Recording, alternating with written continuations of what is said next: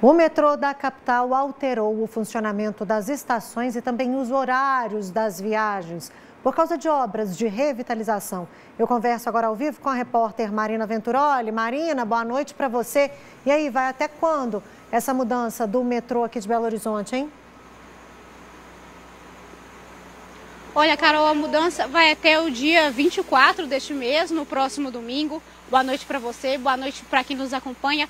Essa mudança vai acontecer porque nesta pista aqui estão acontecendo as obras 24 horas e por isso ela não está funcionando. Então, todos os usuários do metrô só vão poder usar a pista deste lado de cá. Então, aqui na estação Santa Teresa, onde nós estamos, vai acontecer uma baldeação aí durante esse período até o dia 24. E o que, que vai acontecer?